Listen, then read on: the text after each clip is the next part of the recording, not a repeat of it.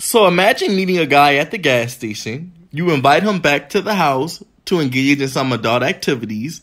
He accepts the offer, comes to the house, participates in adult activities with you and multiple other people in the home. And then he decides to come back to attempt to end your life so no one finds out about it.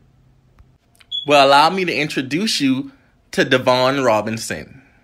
So on May 25th of 2019, a group of black young LGBTQ members took a trip to the gas station corner store in their local neighborhood in Detroit, Michigan. So upon them arriving to a store, they saw a local boy that they knew from school in the neighborhood who would later on be identified as Devon Robinson inside of the store. I am going to post the link in the description box so you guys can watch the full trial. You guys will also be able to see the surveillance video from the gas station on the night of the event where he met the group of LGBTQ members inside of the gas station. Oh, yes, he left a paper trail, baby. So, upon making eye contact with Devon Robinson in the store, the group of LGBTQ members had already identified him as what we know to be Trade. And for y'all who don't know what trade is, trade in the LGBTQ community typically means a masculine black man who may engage in gay sexual activities but doesn't classify as gay. He isn't known as gay. He isn't looked at as gay. He's viewed as a heterosexual man. Trade is also known as a heterosexual man who would exchange sexual favors for money, for gifts, for whatever. That's the definition of trade. So from the time the group of friends arrived in the gas station, they're kind of making eye contact with Devon Robinson, flirting with him, attempting to get his attention. As most down low men do, he's kind of just brushing it off. You know, he's in front of the cashier. He can't really do too much. So, boom. He walks outside of the store. The group of friends are outside of the store, I guess, waiting on him. So, the transgender woman, Paris Cameron, had the conversation with Devon Robinson. Now, we don't know exactly what they talked about, but based off the conversation that we saw, she invited him back to the house with her and her friends. After that, we see her and her friends leave in their vehicle. Devon Robinson starts walking down that way. So we're going to fast forward. Devon Robinson pulls up to the house that her and her that the transgender woman Paris Cameron and her friends are at. Now I forgot to mention that when they entered the store, Devon Robinson was making jokes with the cashier, you know, just telling him, "Hey, it's just a group of gay guys. It's just gay people, you know, nothing serious." So he knew who they were. And then later on you'll figure out if you watch the actual trial that he went to school with a couple of the guys. So based off the testimony of one of the surviving witnesses, when Devon Robinson arrived to the house, he engaged in oral sex with multiple people in the house. So even though he was invited to the house by the transgender woman Paris Cameron, when he got to the house, he engaged in sex with multiple people. Not only Paris Cameron, which was the transgender woman, he engaged in oral sex with about four or five different gay men as well. Please remember that because that's going to go back to something that I said in my previous loyalty video. Down low men have no loyalty. But yeah, he engages in sexual activity with four or five different people in the house. After the sexual activity, he goes downstairs. He's about to leave. All the LGBTQ friends are sitting in the living room. Based off what they're saying, they're making jokes about how, you know, girl, we just got this tree. Girl, we got him to do whatever he wanted. He came in here and had a blast with us. And Devon Robinson is hearing all this as he's leaving. So the surviving witness said that when Devon Robinson was leaving, he mentioned, Y'all will see me again. But they never thought too much about it. They just thought, you know, he'll be back for another party, girl. He's going to come back and get his life. So Devon Robinson leaves the house. He lives right down the street. This is his neighborhood. This is where he grew up and this is where he went to school at. So he leaves. He comes back 15 minutes later and opens fire on the whole house, attempting to end the lives of everyone in that house who was a witness to him basically attending a gay sex party. As a result of this, Timothy Blanchard, Alunte Davis, and Paris Cameron lost their lives that night to Devon Robinson. Um, he also attempted to end the lives of two other people that were in the house, but they both managed to survive. So now I've given you the story. Now let's get into a few things. First of all, as LGBTQ members, we have got to use our common sense when dealing with these men, especially down low men. This was extremely irresponsible. This was not safe. There has got to be some level of discretion that we have when messing with down low men.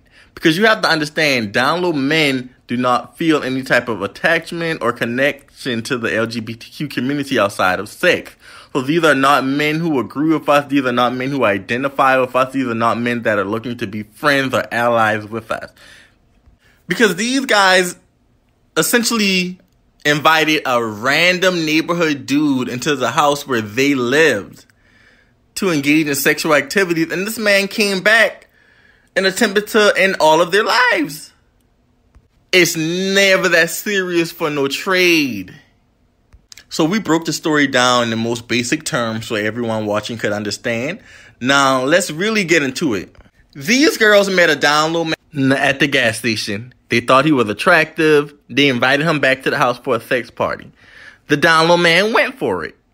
In the video from the gas station, you can see him pacing back and forth like, eh, I don't know if I really want to do this. I don't know if I'm really ready to come out yet. And every time, I personally believe every time a down low man has gay sex or before they're engage in gay sex is always that, uh, the risk. It's the risk. It's the risk. Will somebody find out? Can I be discreet? What will I do if someone finds out? But that urge that they have for that sex always outpowers the risk and the fear. At least until the climax. Boom. So you have a down low man. He pulls up to the house probably in his mind, he's saying, you know, I'm only going to go there and engage in sexual activity with the transgender women. A lot of times, in my opinion, I believe that these down low men start off with transgender women because it makes them feel less gay. But as you can see in this story, a lot of times they have an interest in men. Ultimately, they want men. So when he got to the house, based off the witness testimonial, he went crazy, had sex with over five different people in the house. So he attended a gay sex party. I'm assuming this is his first gay sex party. Um, based off the way he went in there and got, I don't know. I feel like he might have did this before, but what he said to the detectives was this was his first time. He also lied to the detectives and said he only had sex with the transgender women, which is something that down low men do a lot. Again, they believe if they mess with transgender women, it makes them less gay, or they can still be perceived as heterosexual. But just like I told y'all, baby, that gay sex is too good. Once you start, you can't stop. I'm gonna guarantee you that. So he just couldn't mess with Paris. He's already in the sex house where they all having sex. It's a sex party. So, you know, I'm gonna go into the other room and see what's going on. So he went into the male's room. He had sex with this male. He had sex with two men in this room. At one point, they said four different men were performing oral sex on him at once. This down low man lost his mind in that gay sex party. And one of the surviving witnesses mentioned that Devon Robinson asked him to perform oral sex on him also, but he let Devon Robinson know, you know, I'm not a bottom. So if you're not going to perform it on me, I'm not going to perform it on you. And I absolutely respect that young man. If that's how you play. So, anyways, he has sex with everybody in the house. He gets his rocks off as the down low men do, and then he comes to his senses. So he's ready to get up out of there. So as he gets up out of there and he's walking home, he's now realizing okay, damn, I've had sex with not only a transgender woman, but I've had sex with four or five different men on top of that. They were all in there. They all know my face. We, some of us went to school together. We live in the same neighborhood. I'm going to have to see them again. And I don't trust that they're going to keep my secret. And what you need to understand when you deal with down low men, a lot of times they make you feel like you're back in the closet because you're always keeping secrets for them always about their secrecy and their privacy and their protection. They don't really care about you. And keep in mind the discretion again is only for the heterosexual community because obviously he came to a gay sex party full of LGBTQ members, so he did not care about them knowing that he was gay. He only cares about the heterosexual world not finding out. But I've already told y'all that. Watch the previous videos. So, 10 15 minutes later, he comes back to the house, opens fire, on everybody in the house. Everybody starts scattering. Everybody starts running. Um, one of the guys ran down to the basement who happened to survive. But this guy sent three LGBTQ members to meet their maker. So imagine me having sex with you And because you're afraid and you're a coward and you can't stand up as a man and say, this is what I like and this is what I'm attracted to, you think that I deserve to not be here on this world because I may tell somebody my truth? Yeah, this is absolutely unacceptable. And this is dangerous, and we have to protect ourselves. Now, I'm not here to say all down women are dangerous based off my experiences with them. I've never had any dangerous experiences. I've never felt unsafe around the few that I've encountered. But that does not negate the fact that things like this do happen. First of all, my heart goes out to everyone who lost their lives, anyone who lost a family member, a friend, a spouse. Whatever these people meant to you guys, my heart goes out to you. And rest in peace to those beautiful young LGBTQ souls. They were just getting started. But I think the bigger question is why was this 19 year old black male so afraid of people finding out that he attended a gay sex party and had gay sex as a grown man to the point that he was willing to end the lives of everyone in that house? This is a problem in the black community homophobia. These men are so afraid to be themselves. But if you notice, they're not afraid to have that gay sex now. I already told y'all that gay sex. It's gonna get you every time. But it seems today everyone wants to have the gay sex without having to be labeled as gay. Or go through the battles and scrutiny that LGBTQ members go through. This young man had his whole life to live. He threw his whole life away based off one night of sex and passion that he was afraid would get out to everybody. So my question to down low men is, who the hell are y'all afraid of? The boogeyman? Like, what is someone really going to do to you if they find out that you're gay? Or you're bisexual? Or you like transgender women? Or you don't even have to classify yourself. Just say you like what you like and that's it. You do not owe anyone an explanation. This story just kind of hurt, hurt my feelings a little bit because it's a little unsettling to know that so many men are living a life of misery where they feel like they have to lie and hide and cover up for something that they did not choose. You're not a monster, you're not a criminal, you are not less than because you have an attraction to the same sex. And if more of these men truly felt this way and believed that they could exist in this world and be loved and respected and cherished just as any other person could with being gay, maybe these men would be more open. Maybe these men would be more happy. Maybe we would not have such a large population of black down low men. Like, why is it 2022 and black men are still struggling with their sexuality in the United States of America?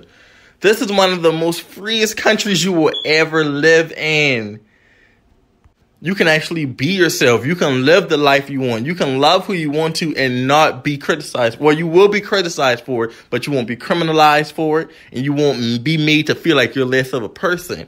I understand in the black community, yes, certain black people are extremely religious. Certain black people are intolerant. Certain black people don't have a lot of patience. The black people are not open to anything different from what they've known. But that's when you have to remove yourself from them. Divest from homophobes. Divest from hate, hateful, mean spirited, simple minded, intolerant people. Some people will remain ignorant to things that they don't know. Some people are unwilling to do research and learn something different from what they've been taught. Because a lot of the homophobia and hatred towards gay people in the black gay community has to be unlearned. And unless they're willing to unlearn everything that they've been taught, you are not going to be able to get everybody to see your life the way you see it. Listen, I'm an openly gay man. I've been through it with family. I've been through it with people I grew up with. Everyone will not accept it. But what you gonna do? Because your feelings ain't gonna change. You're still gonna be attracted to men. If you're a woman, you're still gonna be attracted to women. It's not going to change. So you owe it to yourself to live in your truth because it's only going to get worse. This boy was 19, living a down low lifestyle at 19. He'd already decided that he wasn't going to allow himself the chance to live a normal, happy, productive life, giving himself a chance to find genuine love and be happy. Now he's going to be in jail for the rest of his life. It's just so unfortunate. And then you listen to the jail call with him and his mom who should have been charged with harboring a fugitive if you ask me. And I'm listening to her talk, and I'm like, wow, well, if that's who I grew up around, or that's who I was raised by, I understand why he's on the down low. She did not sound like the type of mother you could come and talk to about anything. She did not sound like the type of mother I could come to and say, Hey mom, I'm struggling with my sexuality. I think I may be attracted to men. And what's so ironic about that is she was a lesbian woman. But that just goes to show you that internalized homophobia exists too because although she was a lesbian and she was with a woman, she was not open to her son living in his truth. Even the things she said, yeah, because I was telling everybody I know my boy ain't gay and da da da. It's like, ma'am, you are a lesbian woman with a gay son. And then when he finally did come out to his mom on the jail call, she sounded disappointed. She did not sound like she was happy with it. She tried to give him the, well, you know, you could have always came to me. But you can tell it was not genuine. She did not seem like a nurturing woman. She did not seem like a woman who showed a lot of love and affection to her son. I just did not get it from her. But I could be wrong. But yeah, I can go on and on. Devon Robinson was charged and found guilty. He will be facing, I believe, three life sentences. He was charged with 10 counts. I'll put the charges in the description box, child. I can't name them all. But this story um, just goes to show that some down low men can be dangerous. Most down low men that you meet are cowards. Um, you need to protect yourself and be safe at all times. Use your discretion. Um, I would not pick up random men. I would not invite random men back to my house. I understand you feel like I'm grown, I'm mature, I can defend myself, I can protect myself. These men are harmless, but that is not always the case. And to Devon Robinson, um, I mean, I'm sorry. I think you're a monster. You know, my heart goes out to you. I wish that you would have had the chance to actually live in your truth and live a happy, productive life as an LGBTQ man. I understand the struggles with trying to come out. I went through. We all go through it, but it does get better.